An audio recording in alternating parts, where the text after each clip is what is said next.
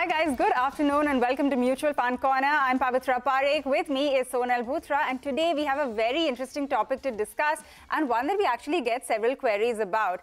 So we're looking at international funds today, the pros, the cons, the potential, what it can really do for your portfolio. And Sonal, this is also a good time, right, to be looking at uh, this kind of topic for two reasons. A, we're seeing the whole China reopen play out after their zero COVID policy. And B, after nearly a year of regulatory limitations, just recently, Indian equity funds investing in overseas markets have once again opened up and they're accepting funds from domestic investors. So all in all, uh, this is a good time for a full-fledged explainer. Absolutely, and that's the reason we've got an expert for our viewers yeah. as well, right? We have with us Santosh Joseph, who's the founder and partner at Germinate Investor Services. Uh, thank you so much for joining us today. And as Pavitra said, it's the right time to discuss international investing as well. So let's start with that first, because at this time, what do you see as the key advantages of international funds and in investing there? Hi, Sonal and Pavitra. It's a good time to be talking about these international funds, uh, especially now since we have the opportunity to do so.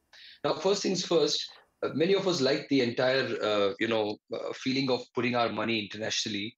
But i think when you go down the layer and look why you realize that the entire india opportunity or the domestic opportunity is about 3 or 3.5 percent of the global opportunity we have to invest in equities. So therefore the minute you start looking beyond your borders or beyond the domestic market you've got a vast canvas to consider to invest that's the first uh, you know exposure opportunity. The second opportunity is diversification.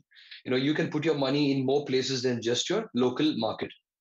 Now by doing so some of the investors who've already done it in the past have benefited by the rupee dollar movement to the point that over the last decade which is the last 10 years they made over 3% compounded annual return just by being in these international funds so it's it's a win-win in many cases because you get a, a, larger exposure to the true equity market across the world. You can diversify your portfolio, and you also get to benefit from the uh, currency. All right. Uh, so there are definitely lots of benefits and it sounds very attractive when you put it like that, right? Because there's this entire basket of opportunity waiting for you outside your own borders as well. But you know, Santosh, something that we need to highlight is that international funds carry all the risks that pertain to investing in the markets, but there are some additional risks as well, right? Um, such as the currency risk, political, economic risks, all of that. Uh, what do you see as the main cons of investing in international markets or at least, you know, something that you should be aware of as an additional risk? I think uh, rightly pointed out. See, when you first look at the currency, it's important to understand the difference between the returns of the asset and the return that the asset gives you, net of the currency impact. There have been times where the currency has given you a good return.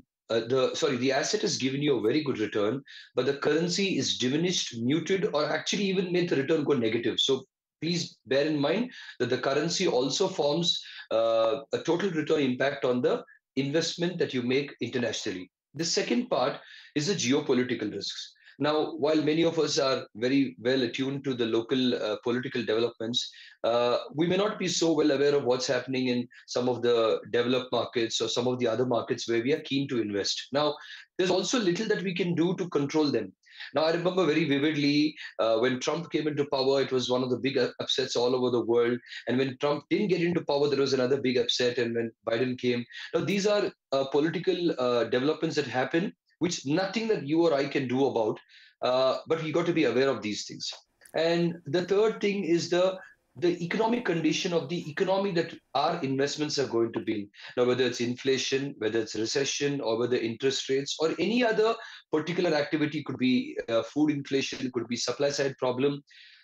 As investors domestically investing in international funds, there's very little that we can do, but be aware and also ensure your portfolio is so positioned that these have little impact on your portfolio because you can't mitigate this risk but you have to ensure that these risks are number one, well aware, and number two, well managed. Okay, can't mitigate those risks, but find out ways to navigate. So a follow up on that itself, Santosh, because most international mutual funds, they invest either through a fund of fund structure or through a feeder fund.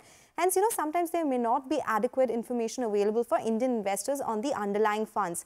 Is that also a concern for you? Actually, it's not a concern while I agree to the point that there's a little bit of a lag or a little bit of delay because sometimes, uh, you know, just you look at the day-to-day operations, in India, you get this uh, same price of the day that you're buying some uh, security, or if you're buying a mutual fund, you get the same day NAV if the funds are provided for. Whereas in an international fund, there's a day or two lag even for you to get allotted the units and when it comes to information about the portfolio or the changes in the underlying portfolio, sometimes it, you have to wait for the month end, and sometimes you have to also look at the uh, the conditions that you have about the portfolio disclosures that the underlying fund have for us to know if there's a material change in the portfolio. Having said that, you shouldn't really worry too much about it because I think what's important is if you've taken a call based on understanding the asset and the exposure that you need, then you're fine of course, there's a little bit of a lag, but it's not that you're in a black hole, there's no information. There is plenty of information available. All right, that point is absolutely well taken. There is still information available. Uh, Santosh, you know, slightly broader question on this because like we were mentioning that there are some additional risks here. Do you think this is a space that's um, best explored perhaps only by slightly advanced investors? And uh, by advanced, I just mean maybe someone who's a little bit experienced, has been around for a while and not someone who's uh, getting into investing for the first time? Absolutely true. And though international funds are so easily available today to invest, and I think uh, the platforms and the mutual fund companies have made it so accessible, it's not for everyone. Now, when we mean advanced, we mean experienced, we mean informed, we mean people who know the whereabouts of these funds.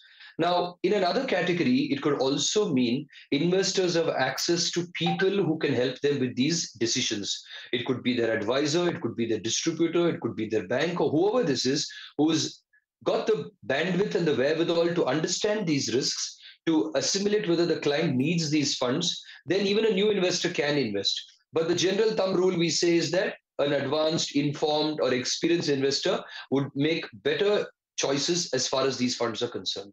Okay, so you know one of the reasons why these are in vogue as well is, as Pavitra mentioned earlier, overseas mutual funds they are now open for investments again. So in that case, what should your strategy look like at this point in time? Well, it's a good uh, uh, thought that you know we got these funds open back again, but just that they're open doesn't mean that we should go and put our money there. Uh, I think you should fit it well into your portfolio. Now, if the portfolio uh, construct that you already have for yourself basically on the risk reward or the diversification or the need for the exposure arises, only then please consider in, in, in these international funds. Otherwise, I would not just uh, randomly, uh, you know, cons- uh, consider international funds just because the limits are open or now you can invest freely. Now, this is one uh, mistake that investors tend to do is that invest because it's available without realizing why I need it into my portfolio. I think if you answer the second question, why uh, it makes sense, I think then it becomes a lot easier to choose. Hmm. All right. This is the same thing that happens when um, an investor doesn't really understand which fund to buy as well, right? So they just buy a little of everything and hope that something will hit it. But yes. um, you know, just generally spray around and you realize it doesn't make any impact. Yeah, exactly. So then that actually brings me to my next uh, question: How, If you are investing in international funds, and I know this is different for everyone because you can't have a one-size-fits-all approach, but how much do you suggest you keep in international funds? There has to be, uh, you know, some amount for it to be meaningful, right? Uh, see, you have to understand that these international funds do not come under the LRS route, mm. which means for domestic investors who are not worried about that LRS route but want a lot of exposure can take. Having said that, it's not for everyone.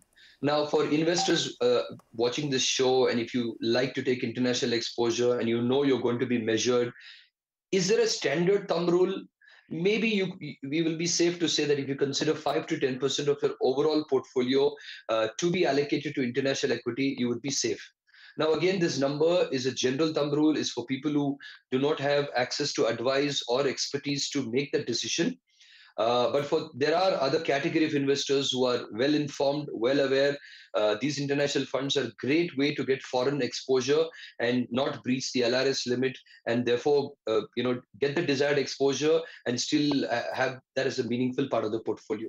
Okay, so uh, it depends, of course, as you said, uh, on various factors, the amount. But is there a minimum time horizon an investor should have when they actually invest in international funds? Yes, again, international funds are not those quick, uh, fast return schemes just because you invest in a fancy uh, theme, stock, or even an international uh, uh fund. Now, like equities, you need to understand that the risk uh, risk uh, exposure that you are getting yourself into. So, therefore, uh, come with a three to five year investment horizon on a minimum because that's exactly what normally one looks at even investing in equities domestically Now, in international, those risks still persist, but also you have those extra stuff that we just spoke about. So I think if you do not have a three to five year horizon or more, then it's better that you stay away. Uh, it's better that you consider this as a strong part of your portfolio for long term. All right, got that. Uh, Santosh, this has been very helpful, but uh, we have to take a very quick break right now. We're going to be back in just a minute and then we're going to discuss how you really pick which fund you should go for in that huge basket of international funds which is really available to us. So stay tuned. We'll be right back. Welcome back, uh, and we still have with us Santosh Joseph from Germinate Investor Services, and we are talking all about international funds and investments there as well. Uh, you know, Santosh, we spoke about what are the cons, what are the possible risks that one should be aware of. Uh, but as we have spoken about the fact that there are several types of international funds, there'll be country-specific, region-specific, theme-based. How do you know what to pick from that big basket? Well, you're right. We're actually a bit spoiled for choice. We've got plenty of opportunities over there.